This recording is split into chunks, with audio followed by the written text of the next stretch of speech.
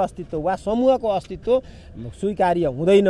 वैयक्तिक रूपमा सबैका कुराहरू हामी सुन्छौँ भन्ने प्रधानमन्त्रीज्यूले भन्नुभएको छ र हदै र जुन ढङ्गले पार्टीभन्दा बाहेक पार्टीको आधिकारिक निर्णय वा केन्द्रीय कमिटीको कुनै निर्णयभन्दा बाहेक पनि कुनै ठाउँमा भेलाहरू गरिएको कारणले पार्टी अध्यक्षले आज केही सङ्केत गर्नुभएको छ कि केही स्पष्टीकरणहरू केही नेताहरूको हकमा केही स्पष्टीकरण हुन सक्ने सम्भावना अगाडि बढेको छ। पार्टी एमालेको संसदीय दल बाहेक अर्को कुनै समूहगत यहाँ अस्तित्व छैन र त्यो अस्तित्व किमार्थ पनि स्वीकार्य हुँदैन।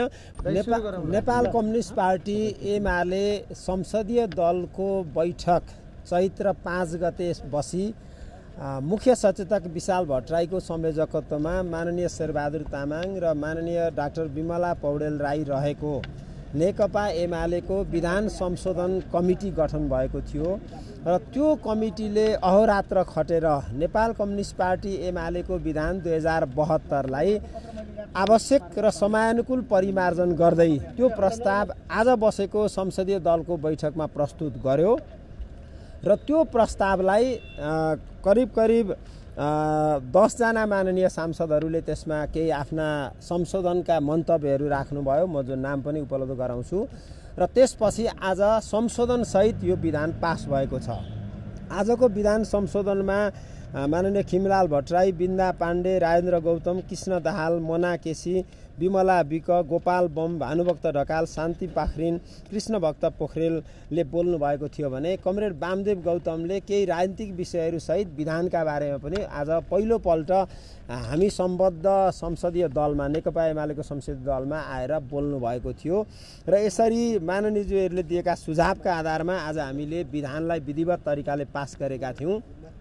केही मान्छेहरूले के प्रश्न गरेको सुनियो भने नेकपा एमालेको विधानै थिएन भने जस्तो कुरा गरेको यदाकदा हामीले सुनेका छौँ। तर नेपाल कम्युनिस्ट पार्टी एमाले दुई हजार अडचालिस सालदेखि विधान सम्मत तरिकाले संसदीय दल चलाउँदै आएको पार्टी हो र विधान सम्मत तरिकाले चल्दै आउने क्रममा हामीले सत्तरी सालको संविधान सभाको निर्वाचनपछि हामीले हाम्रो त्यो बेलाको संविधान सभाको संसद दलको विधान निर्माण गऱ्यौँ र त्यो पछि व्यवस्थापिका संसदमा रूपान्तरित भइसकेपछि बहत्तर सालमा फेरि हामीले संशोधन गरेर हामीले त्यसलाई अपडेट गरेका थियौँ। तर बहत्तर पछि चौहत्तरको निर्वाचन हामी गठबन्धनका आधारमा लड्यौँ र चौहत्तर पछि चाहिँ नेपाल कम्युनिस्ट पार्टी बनेपछि नेपाल कम्युनिस्ट पार्टीको विधान हामीले बनाएका थियौँ।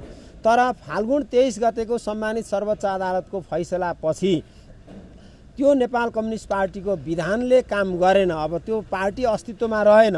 नरहिसकेपछि नेकपा एमालेको त्यही बहत्तरको विधानलाई हामीले संशोधन गर्नै पर्थ्यो त्यसलाई समयानुकूल बनाउनै पर्थ्यो र त्यसमा भएका कतिपय शब्दका त्रुटिहरू वा कतिपय त्यसमा भाषिक त्रुटिहरू वा त्यसका संरचनागत केही त्रुटिहरूलाई हामीले सच्याएर आज हामीले विधान पास गरेका छौँ। त्यसो भएको हुनाले आजबाट नेपाल कम्युनिस्ट पार्टी एमाले संसदीय दलको विधान दुई हजार सतहत्तर पारित भएको छ दलको बैठकबाट।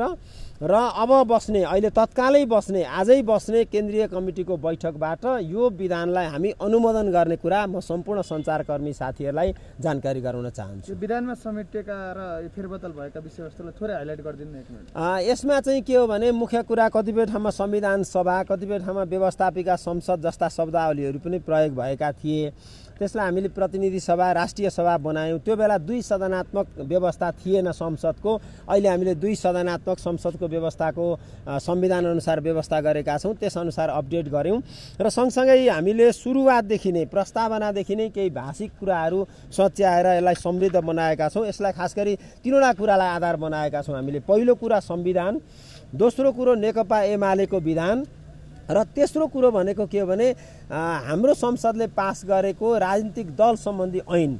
यी तिनटै चिजलाई तादाम्यता हुने गरी हामीले विधानलाई चाहिँ समयानुकूल बनाएको कुरा म पत्रकार साथीलाई जानकारी गराउन चाहन्छु। र यसमा हामीले केही जस्तो हाम्रो दलको बोर्डको व्यवस्था थियो दलको बोर्डको व्यवस्था सत्ताइस सदस्यीय थियो। त्यसलाई हामीले उन्तिस सदस्यीय बनाएका छौँ र त्यसलाई चाहिँ एक तिहाई महिला कम्तीमा हुने गरी बोर्डको व्यवस्था हामीले यसमा आज पास गरेका छौँ। त्यसै गरी आजसम्म दलको उपनेता माननीय सांसदहरूबाट वा दलबाटै निर्वाचित हुने व्यवस्था थियो भने आजबाट हामीले यो विधानमा चाहिँ दलको उपनेता दलको नेताले नै तोक्ने व्यवस्था गरेका छौँ अथवा मनोनयन गर्ने व्यवस्था गरेका छौँ। जसरी प्रमुख मुख्य सचेतक वा प्रमुख सचेतक र सचेतक तोक्ने व्यवस्था छ त्यसै गरी दलको उपनेता पनि तोक्ने हामीले व्यवस्था गऱ्यौँ र राष्ट्रिय सभाबाट पनि दलको निर्वाचित दलको नेता निर्वाचित गर्ने हाम्रो अहिलेसम्मको प्रचलन रहेको थियो। प्रधानमन्त्री प्रतिनिधि सभाबाटको सांसदहरूबाट निर्वाचित हुन्थ्यो भने दलको नेता चाहिँ राष्ट्रिय सभाका पनि सांसदहरूबाट निर्वाचित हुन्थ्यो भने यो द यो विधानअनुसार चाहिँ हामीले प्रतिनिधि सभाबाट मात्रै दलको नेता चयन गर्ने व्यवस्था आजबाट हामीले संशोधन गरेका छौँ। यो अडतिसजना सांसदहरूको आपत्ति र कमिटीको बैठक बस्दैछ त्यसमा पनि वरिष्ठ नेता माधव नेपाल समूह उपस्थित अनुपस्थित हुने भनेर भनिसकेको छ। यस्तो अवस्थामा चाहिँ कसरी अगाडि बढ्नुहुन्छ? अब सब सर्वमान्य कसरी हुन्छ? यसबारेमा माननीय शेरबहादुर तामाङले पनि केही कुरा तपाईँहरूको बिचमा राख्नुहुन्छ। आज उहाँहरूले एउटा माग पत्र जस्तो लिएर आउनुभएको थियो। अग्रिम मलाई फोन गरेर जानकारी पनि गराउनु भएको थियो र उहाँहरू तिनजना सांसदज्यूहरू त्यहाँ आउनुभयो। प्रधानमन्त्रीज्यूले भन्नुभयो संस्थागत रूपमा नेपाल कम्युनिस्ट पार्टी एमालेको संसदीय दल बाहेक अर्को कुनै समूहगत यहाँ अस्तित्व छैन र त्यो अस्तित्व किमार्थ पनि स्वीकार्य हुँदैन। वैयक्तिक रूपमा तपाईँहरू आफ्ना मागहरू राख्न कोही आउनुभएको छ भने त्यो हाम्रो लागि स्वीकार्य हुन्छ। व्यक्तिगत रूपमा प्रत्येक सांसदका प्रत्येक विधायकका प्रत्येक केन्द्रीय नेताहरूका हामी कुराहरू सुनवाई गर्छौँ। तर सामूहिक रूपमा वा संस्थागत रूपमा वा गुटगत रूपमा कसैका आवाजहरू यहाँ आउँछन् भने त्यो स्वीकार्य हुँदैन भनेर उहाँले भन्नुभयो र माननीय सोम पाण्डेले त्यो उहाँ प्रधानमन्त्रीज्यूलाई हस्तान्तरण गर्नुभएको छ। त्यसलाई प्रधानमन्त्रीज्यूले अध्ययन गर्नुहुन्छ हेर्नुहुन्छ। प्रधानमन्त्रीज्यूको मैले बुझेको मूल मकसद के हो त भन्दाखेरि आजको अभिव्यक्तिमा पनि उहाँ प्रकट भएको थियो। त्यो के हो त भने हामी संस्थागत रूपमा पार्टीभित्र अलग कसैको अस्तित्व गुटको अस्तित्व वा समूहको अस्तित्व स्वीकार्य हुँदैन। वैयक्तिक रूपमा सबैका कुराहरू हामी सुन्छौँ भन्ने प्रधानमन्त्रीज्यूले भन्नुभएको छ र हदैसम्मको लचिलो भएर पार्टीलाई एकताबद्ध हुने बनाउने प्रयासमा सम्माननीय प्रधानमन्त्री केपी शर्मा ओली लाग्नुभएको कुरा पनि म पत्रकार साथीहरूलाई जानकारी गराउन चाहन्छु। आज मूलत संसदीय दलको बैठकले हामीले हामीले अगाडि नै विधानको आधारमा पुरानो विधानको आधारमा सत्ताइस सदस्यीय बन्ने जुन बोर्ड बन्ने प्रावधान थियो त्यो बोर्ड बन्ने प्रावधानमा हामीले अहिले दुईजना थप गरेर उन्तिस सदस्य बनेको छ र सत्ताइस बन्ने बेलामा पनि हामीले पुरानो विधानको आधारमा चौबिसजना बोर्डमा मनोनयन गरेका थियौँ।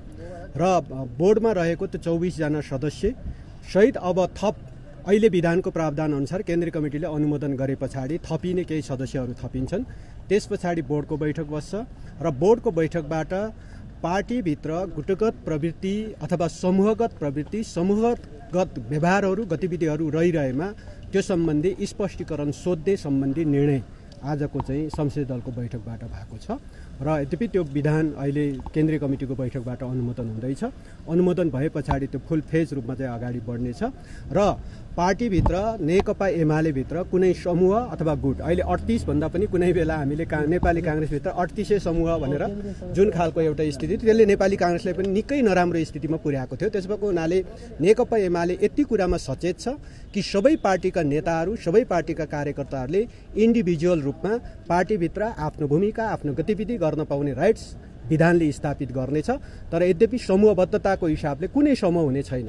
त्यहाँ पार्टी अध्यक्षको पनि समूह हुने छैन र अरू कुनै वरिष्ठ नेता वा कसैको पनि त्यो समूह हुने छैन। इन्डिभिजुअल आधारमा सहभागी बन्न पाउने कुरालाई आज पार्टी अध्यक्ष संसदीय दलको नेताले प्रष्ट ढङ्गले त्यहाँ दृष्टिकोण राख्नु भएको छ कि इन्डिभिजुअल रूपमा सबैजना आफ्नो पार्टीमा आफ्नो पार्टीको सांसद छ भने संसदीय गतिविधिमा पार्टीको केन्द्रीय कमिटी वा अरू कुनै पनि कमिटीहरूमा छन् भने त्यसमा आफ्नो इन्डिभिजुअल आधारमा आफ्नो गतिविधि गर्न पाउने छुट त्यहाँ हुनेछ।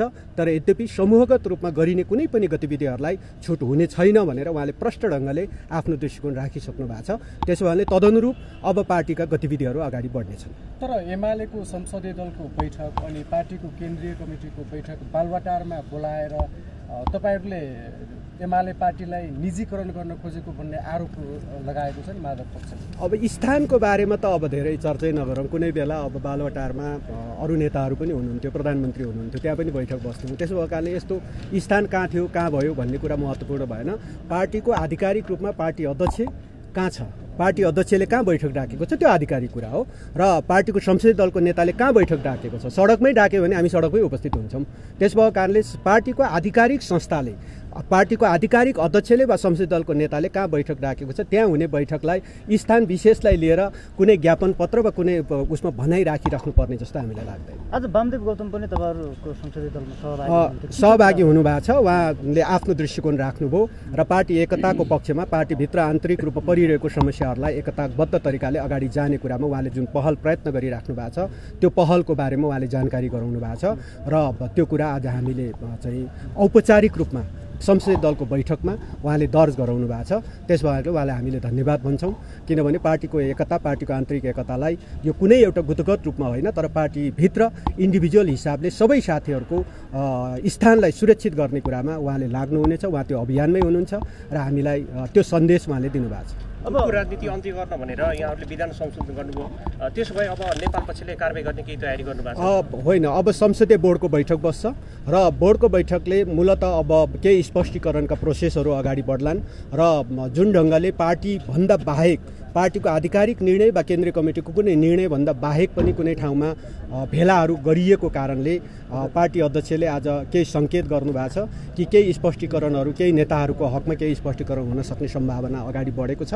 तर यद्यपि फेरि पनि अब त्यसको पहल प्रयत्न जारी छ र सबै नेताहरूलाई हामीले पार्टीभित्र फेरि पनि वेलकम गरेर पार्टीलाई एकताबद्ध ढङ्गले अगाडि बढाउने कुरामा हामी सबैको प्रयत्न जारी छ र त्यो प्रयत्न आज धेरै सकारात्मक ढङ्गले अगाडि बढेको छ। किनकि कमसेकम हामी यतिजना छौँ र हाम्रा दृष्टिकोण यो हो भनेर उहाँहरूले चाहिँ पार्टीभित्र पार्टीको संसदीय दलभित्र आफ्नो दृष्टिकोणहरू प्रस्तुत गर्नुभएको छ।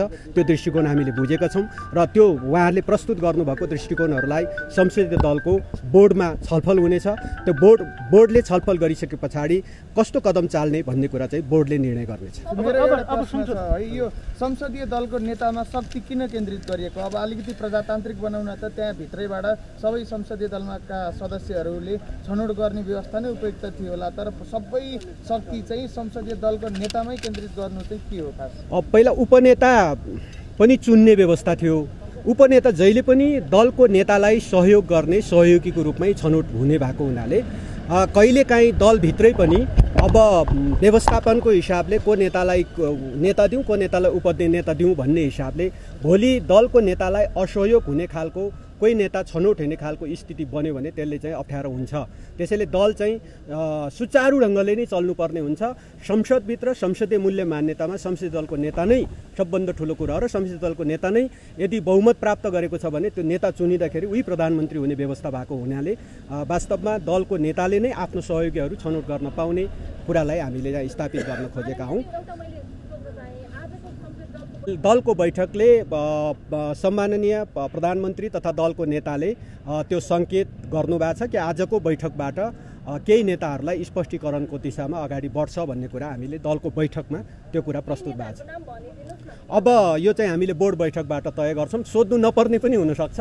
त्यसैले सोध्नु नपरिकन हामी हाम्रा यी समस्याहरू टुङ्ग्याउने स्थिति नै बन्न सक्छौँ। त्यसो भए यसैले स्पष्टीकरण सोध्ने भन्ने कुनै निर्णय भएको छैन।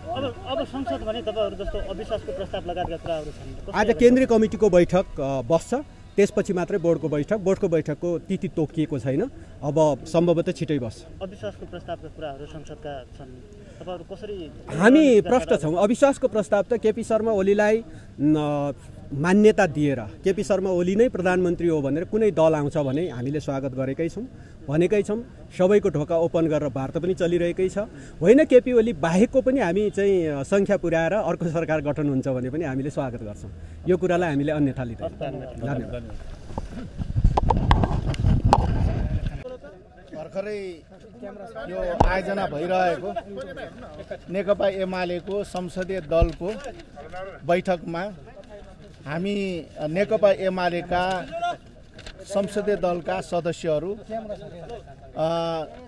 हाम्रा वरिष्ठ नेता माधव कुमार नेता नेपाल र झलनाथ खनाल लगायतका अडतिसजना सांसदहरू सिंहदरबारको संसदीय दलको कार्यालयमा बैठक बसेर त्यहाँ चाहिँ नि हामी छलफल गरेर यो अहिले आयोजना भइरहेको बालुवाटारमा प्रधानमन्त्रीको जुन चाहिँ नि सरकारी कार्यालयमा निजी निवासमा आयोजना भइरहेको बैठकमा यो जुन आयोजना भइरहेको बैठकप्रति हामीले असहमति जाहेर गर्दै पाँच बुँदामा हाम्रो असहमतिहरू हामीले यहाँ पेस गरेका छौँ र यसमा अडतिसजना सांसदहरूले हस्ताक्षर गर्नुभएको छ र प्रधानमन्त्री तथा हाम्रो चाहिँ नि दलका नेता सम्माननीय प्रधानमन्त्रीज्यूलाई हामीले यो पत्र त्यहाँ चाहिँ नि पेस गरेका छौँ। अडतिसजना सांसदको तर्फबाट यो बैठक आयोजना भइरहेको बैठक चाहिँ नि विधि सम्मत भएन विधा विधान सम्मत भएन र दलले गरिरहेका जुन निर्णयहरू विधि र विधान सम्मत भएन त्यसैले यसलाई चाहिँ नि नेकपा एमालेको नौ महाधिवेशनबाट पारित भएको विधान अनुसार सबै काम कारवाहीहरू अगाडि बढ्नुपर्छ। संसदीय दलको बैठक पनि त्यही विधानले निर्देशित गरे अनुसार नै हुनुपर्छ। संसदीय दलको बोर्ड गठन गर्ने कुरा पहिलो कुरा सम हाम्रो चाहिँ नि नौ महाधिवेशनबाट पारित भएको विधानले व्यवस्था गरे अनुसार केन्द्रीय कमिटीले त्यसलाई चाहिँ नि अनुमोदन गर्नुपर्छ। अनुमोदन गरिसकेपछि मात्र यो संसदीय दलको नियावली विधान र चाहिँ नि संसदीय बोर्डहरू बनाउने एउटा चाहिँ नि व्यवस्थाहरू छ। यी कुराहरू हामीले उल्लेख गर्दै आफ्ना असहमतिहरू जाहेर गरेका छौँ। र यस्तो खालको चाहिँ नि दलको बैठक मूलत चाहिँ नि यो हाम्रो संसद दलको कार्यालय र संसद भवनमा आयोजना गर्नुपर्छ भन्ने कुरा पनि हामीले राखेका छौँ।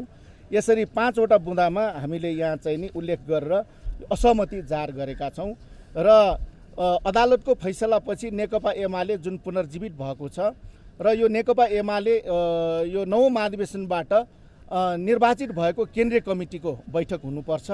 र केन्द्रदेखि चाहिँ नि स्थानीय तहसम्म नै पुनर्स्थापित जुन चाहिँ नि गरिएको छ त्यही अनुसार नै काम कारवाहीहरू अगाडि बढ्नुपर्छ भन्ने कुराहरू हामीले स्पष्ट रूपमा राखेका छौँ। र यो पाँच बुँदामा पनि असहमति हामीले जुन चाहिँ नि आफ्ना रायहरू सुझावहरू असहमतिहरू र विधि र विधान सम्मत ढङ्गबाट हुनुपर्छ भन्ने कुराहरू नै राखेका छौँ। त्यसो भएको हुनाले आगामी अबका दिनहरूमा संसद दलको बैठक पनि यो यो चाहिँ नि निजी यो चाहिँ नि कार्यालयमा होइन। संसद दलको कार्यालय र चाहिँ नि संसद भवनमा नै आयोजना हुनुपर्छ भन्ने कुरा समेत हामीले स्पष्ट रूपमा त्यहाँ चाहिँ उल्लेख गरेका छौँ। हामी यहाँ तिनजना आएका छौँ। हाम्रो माननीय सोमप्रसाद पाण्डे माननीय यज्ञ प्रसाद सुनवार र म जीवन राम श्रेष्ठ। हामी तिनजना यहाँ चाहिँ नि यो जुन पत्र तयार गरेर हाम्रा सुझावहरू र असहमतिहरू सहित पेस गर्न आएका थियौँ। सङ्घीय संसदीय दलका नेता तथा सम्माननीय प्रधानमन्त्री केपी शर्मा ओलीज्यू सङ्घीय संसदीय दलको कार्यालय नेपाल कम्युनिस्ट पार्टी एमाले सिंहदरबार काठमाडौँ। विषय बैठक तथा निर्णय विधान र विधि सम्मत हुनुपर्ने। महोदय नेपाल कम्युनिस्ट पार्टी एमालेको संसदीय दलको बैठक आयोजना गर्ने सन्दर्भमा निम्नलिखित तथ्यतर्फ ध्यानाकर्षण गराउँदै सोही अनुरूप गर्न हुन अनुरोध छ। एक नेपाल कम्युनिस्ट पार्टी एमालेको दुई हजार एकहत्तर सालमा सम्पन्न नवौँ राष्ट्रिय महाधिवेशनबाट पारित विधानको धारा त्रिचालिस क दुईमा संविधान सभा संसदीय दलले आफ्नो विधान र नियमावली निर्माण गरी केन्द्रीय कमिटीबाट अनुमोदन गराउने छ र सो अनुरूप कार्य गर्नेछ भन्ने स्पष्ट व्यवस्था छ। यस्तो व्यवस्थाको विपरीत संसदीय दलको विधान नबनाई र केन्द्रीय कमिटीको बैठकबाट पारित नै नभई आफू खुसी संसदीय दलको बोर्ड गठन गर्ने कार्य पार्टी विधान विपरीत छ र कानुन सम्मत छैन। यसरी विधान र विधिको उल्लङ्घन गरी अघि बढाउन खोज्ने कुनै पनि कार्यलाई प्रोत्साहित गर्न अनुचित हुन्छ। दुई नेपाल कम्युनिस्ट पार्टी एमालेको विधानको धारा त्रिचालिस खको चार बमोजिम संसदीय दल तथा बोर्डको काम कर्तव्य र अधिकार दलको विधान र नियमावली बमोजिम हुने कुरा स्पष्ट उल्लेख छ। संसदीय दलको विधान विधिवत निर्माण भई विधानको कार्यान्वयनका लागि आवश्यक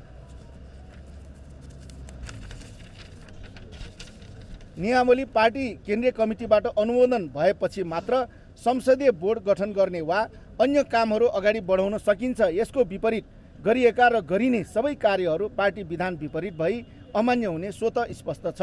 तर संसदीय दल सम्बन्धी पार्टी विधानको व्यवस्था विपरीत भए गरिएका काम कारवाहीमा सहमति जनाउन विधान विपरीत भई लोकतान्त्रिक पद्धतिको समेत उल्लङ्घन हुन्छ। तिन सर्वोच्च अदालतको फैसला पश्चात पार्टी विधानको धारा चौध क र खको एक दुई तिन बमोजिम। राष्ट्रिय महाधिवेशनबाट निर्वाचित तथा केन्द्रीय कमिटीको कुल सदस्य सङ्ख्याको दस प्रतिशतभन्दा बढी नहुने गरी मनोनित भई कायम भएका केन्द्रीय कमिटीका सदस्यहरूको उपस्थितिमा सो कमिटीको बैठक बसी आवश्यक निर्णय गरिनुपर्ने कुरा स्पष्ट छ। त्यसो नगरी पार्टी विधानको धारा तेह्र ख तिन तथा धारा तेह्र कको व्यवस्था विपरीत पार्टी विधान संशोधन गरिएको नौ राष्ट्रिय महाधिवेशनबाट निर्वाचित पदाधिकारीहरूको जिम्मेवारी हटाइएको तथा सदस्यको स्थान रिक्त नै रह नरहेको केन्द्रीय कमिटीमा पार्टी सदस्यता नै नलिएका व्यक्तिहरूलाई सदस्यका रूपमा मनोनित गरी महत्त्वपूर्ण जिम्मेवारी समेत दिएको भन्ने निर्णय सार्वजनिक भएको अवस्थामा अवस्थामा संसदीय दलको बैठक र उक्त किसिमले पार्टी विधानको व्यवस्था विपरीत मनोनयन गरिएका व्यक्तिहरूलाई सामेल हुने गरी केन्द्रीय कमिटीको बैठक समानान्तर एकै दिन र समयमा राखिनुको आशयप्रति गम्भीर प्रश्न उठ्छ। यस्तो स्थितिमा पार्टीका कामहरूको वैधानिकताप्रति सजग हुनु आवश्यक हुन्छ। चार दुई हजार चौहत्तर सालमा सम्पन्न आम निर्वाचन पश्चात गठित सङ्घीय संसदमा नेपाल कम्युनिस्ट पार्टी एमालेको संसदीय दलको विधान बनेको छैन।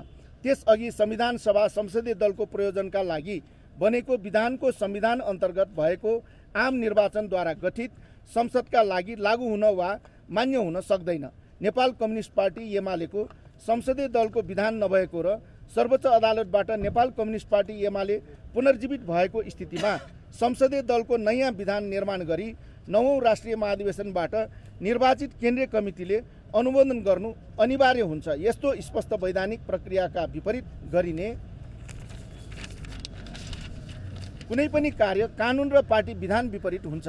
त्यस्तो कार्यमा जननिर्वाचित नेपाल कम्युनिस्ट पार्टी एमालेको कुनै पनि सदस्यले समर्थन जनाउन वा त्यस्तो कार्य गर्न प्रोत्साहन दिन मिल्दैन। पाँच संसदीय दलको बैठक संसदीय दलको कार्यालय वा संसद भवनमा हुने हाम्रो पार्टी नेपाल कम्युनिस्ट पार्टी एमालेको पद्धति र अभ्यास रहँदै आएको छ। कुनै विशेष परिस्थिति आइपर्दा मात्र पार्टी कार्यालयमा पनि त्यस्तो बैठक हुने गरेको थियो। यस्तो स्थापित पद्धति र अभ्यासको विपरीत प्रधानमन्त्रीको सरकारी निवासमा संसदीय दलको बैठक बोलाउने कार्य उक्त पद्धति र अभ्यास विपरीत मात्र हुने नभई पार्टीमा राजनीतिक नीतिगत नीति र सङ्गठन सम्बन्धी गम्भीर मतभेद र विवाद उत्पन्न भइरहेको बेला बैठकलाई प्रभावित हुने गरी विधान विधि र पद्धति अनुरूप सञ्चालन गर्ने काममा समेत अवरोध सिर्जना हुन्छ। हामी विधान विधि पद्धति प्रक्रिया र स्थापित अभ्यास अनुरूप आयोजना हुने सङ्घीय संसदीय दलको बैठकमा उपस्थित भई नेपाल कम्युनिस्ट पार्टी एमालेलाई सङ्घीय संसदमा एकताबद्ध रूपमा अघि बढाउन कटिबद्ध छौँ। तर उपयुक्त पार्टी विधानको व्यवस्था पार्टीको पद्धति र अभ्यास तथा तथ्यको कारण हामी अडतिसजना तपसिल बमोजिमका नेपाल कम्युनिस्ट पार्टी एमाले सङ्घीय संसदीय दलका सदस्यहरू प्रधानमन्त्रीको सरकारी निवास बालुवाटारमा बोलाइएको भनिएको सङ्घीय संसदीय दलको बैठकमा विद्यमान परिस्थितिमा उपस्थित हुने परिस्थिति नरहेको जानकारी गराउँदछौँ भनेर अडतिसजनाको सही समेत हामीले अब कृष्ण भक्त पोखरेलजी तपाईँहरूको साथ छोडेर ओलीको अभियानलाई साथ दिन्छु भन्नुभएको छ हो? त्यो मलाई थाहा भएन। अघि हामीसँगै उहाँ हुनुहुन्थ्यो। छलफलमा पनि उहाँ सहभागी हुनुहुन्थ्यो। अ, थप कुराहरू मलाई चाहिँ नि जानकारी प्रधानमन्त्रीको प्रतिक्रिया के छ? अ, उहाँले अब प्रधानमन्त्रीज्यूले यो चाहिँ नि उहाँले लिनुभयो। र हाम्रो माननीय सोम पाण्डेज्यूले उहाँको हातमै यो चाहिँ नि हस्तान्तरण गर्नुभयो। हामीले उहाँलाई सम्बोधन गरेर पत्रको पाँचवटा बुँदाका असहमतिहरू हामी यसरी सिंहदरबारमा बसेर छलफल गरेर अडतिसजना सांसदहरूले राय सुझाव सहितको आफ्नो असहमति चाहिँ नि हामीले यहाँ जाहेर गरेका छौँ लिखित रूपमा ल्याएका छौँ। यो यहाँ हामी चाहिँ नि पेस गर्न चाहन्छौँ भन्ने कुरा हुन्छ यहाँ हामीलाई चाहिँ नि दिनुहोस् भनेर उहाँले लिनु आफ्नै हातले उहाँले चाहिँ नि लिनुभएको त्यो अडतिस जनामा कृष्ण भक्त पोखरेल हुनुहुन्थ्यो कि हुनुहुँदैन अ, हुनुहुन्न। हुनुहुन्न। हस् धन्यवाद।